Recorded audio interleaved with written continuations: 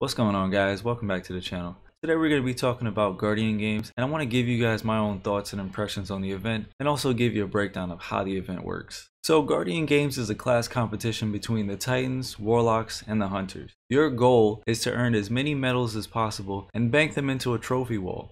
Above it, you'll notice that there's three unique banners, one associated with the Hunters, the Titans, and the Warlocks. By you banking these medals, you'll be earning progress towards your corresponding class and ultimately be driving your team towards victory. Now, the event is scheduled to last three weeks, so there's plenty of time for you to jump in at any point and contribute to your class's progress throughout the event. So how do you get started with Guardian Games? First off, when you jump into the tower, you'll notice that Ava Levante is standing right there in the middle for you to talk to. So you're going to go up to Ava and she's going to give you a bit of dialogue and she's going to basically tell you to go and speak to Zavala. Now, when you go to Zavala, Zavala will also give you some dialogue and he will also give you a free class item. This class item is necessary for this event as while you're wearing it, you'll be generating a new material called Laurels. More on that later. After you speak to Zavala, head back to Ava and Ava Levante is going to give you your first gold medal. Once completed, you're going to head down to the drifter in the tower and he's going to register you for the event. Now that you've banked your first medal and you've earned progress for your class, you're going to head back to Ava and you're going to want to grab some medals and some bounties. Now keep in mind that the medals are going to vary by different activities and they're going to rotate on a day-to-day -day basis. These medals will have you taking part in different activities such as Crucible, Gambit, Strikes, Forges, and also the many planetary destinations available in Destiny. There's also a variety of requirements needed to complete each medal, so every single one will not require you to do the same thing. For example, to earn a Forge Gold medal, you're going to have to kill 300 combatants and complete 5 Forge ignitions. In another example, to earn a Silver Gambit medal, you have to earn 200 points.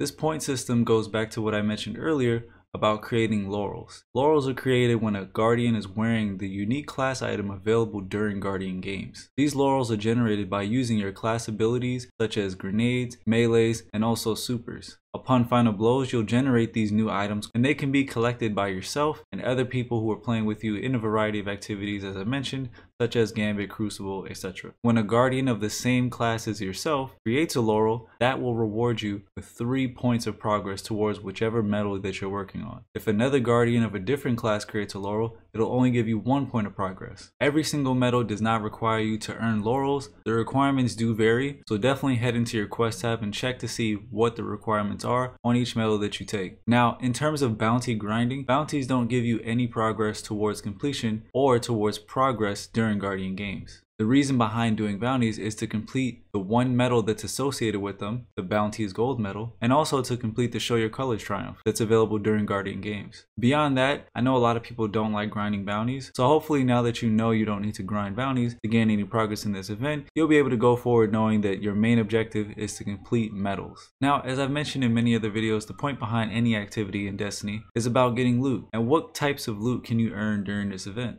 Now, this is a free event available to all players, and of course with many other free events in Destiny 2, Eververse does play a part in it. But unlike events in the past, you will be able to earn or purchase rewards not only by silver but through Bright Dust. Bungie's made many changes to the Bright Dust system within Destiny 2, and currently the best ways to earn Bright Dust in-game are to complete the bounties from Ava Levante, and also by completing the weekly and repeatable bounties from other vendors like Zavala and Shaxx. To be honest with you, you probably won't be able to purchase every single item that you see within the store that you want to purchase for Bright Dust if you don't already have a stash saved up. But you should reasonably be able to purchase a few of the items that you do desire. Now, this system is not perfect, and personally, I'd prefer to be able to earn a lot of these items within the game through the various loot pools that are available to you. After your class does complete one day, if you come out on top, you do earn a package from Ava, which rewards you with various loot like upgrade modules, enhancement cores, and other materials and pieces of armor or weapons within the game. Sadly, you can't earn any pieces from the armor set by completing any of these objectives. Hopefully after the tons of community feedback and the feedback that I've given myself through various avenues such as videos and comments and other Reddit posts, hopefully we can see some type of change come to this loot incentive and these types of loot rewards within these activities that we get throughout the year.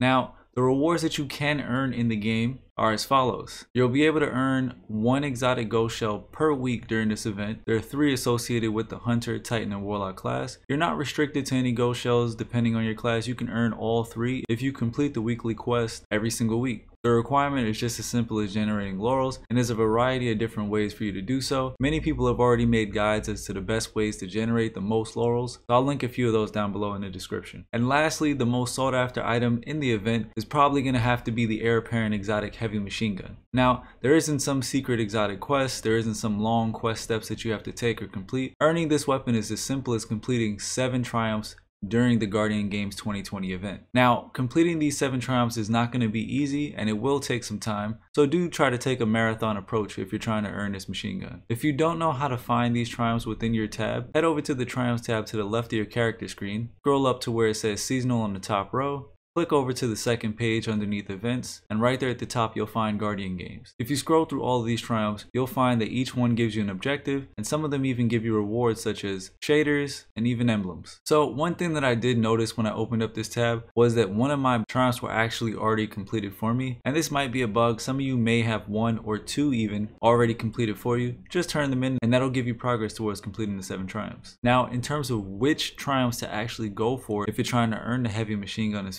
fast as possible, I'd recommend going after the Represent Triumph, the Renown Triumph, the Great Deeds Triumph, the Quintuple Threat Triumph, the Guardian Gamble Triumph, and the Show Your Colors Triumph, and the World Class Triumph. Now again, some of this is not going to be guaranteed.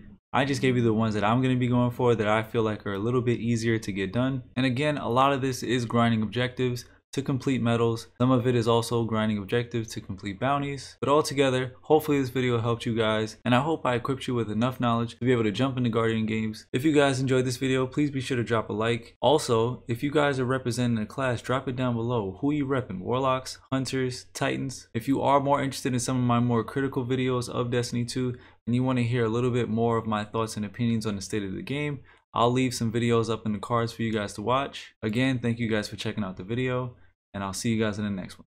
Peace.